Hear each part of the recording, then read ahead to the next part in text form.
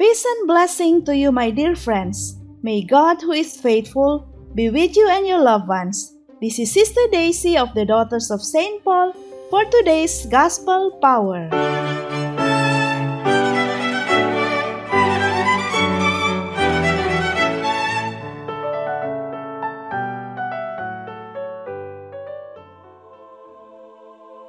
Jesus said to his disciples, When you see Jerusalem surrounded by armies, then know that its desolation has come near.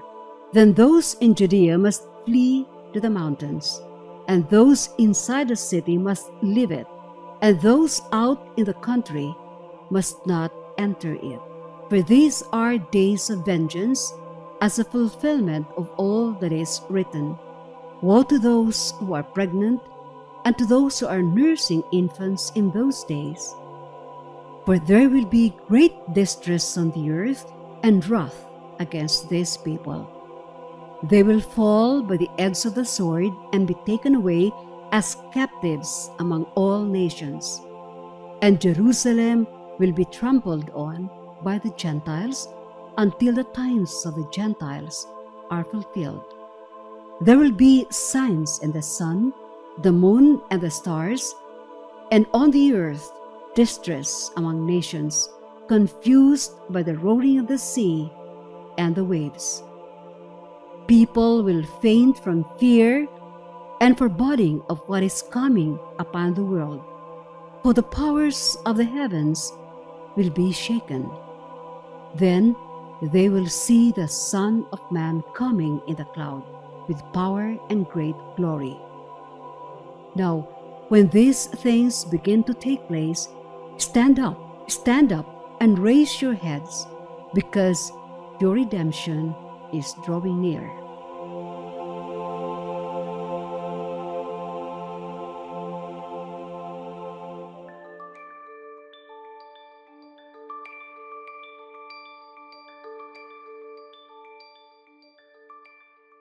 My dear brothers and sisters, new life emerges out of some form of suffering. This is nature's law. Just as a mother goes through labor pains to bring forth her child, so will the return of the Son of Man in glory be pre announced and ushered in by frightful cosmic manifestations that will cause many to suffer and some to die.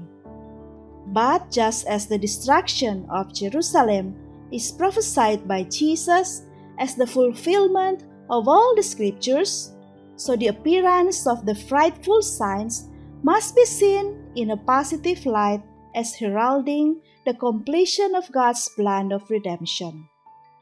We believers are to face them with confidence and hope. Let us pray, Lord Jesus, strengthen our faith that we might endure all the catastrophic occurrences that will precede your return in glory. Amen. We stand before you, Holy Spirit, as we gather together in your name.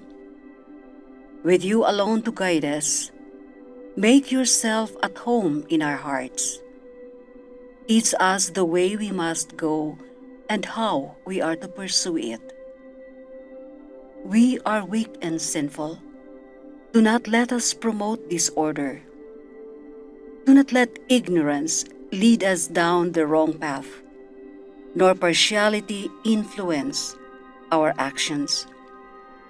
Let us find in you our unity, so that we may journey together to eternal life, and not stray from the way of truth and what is right.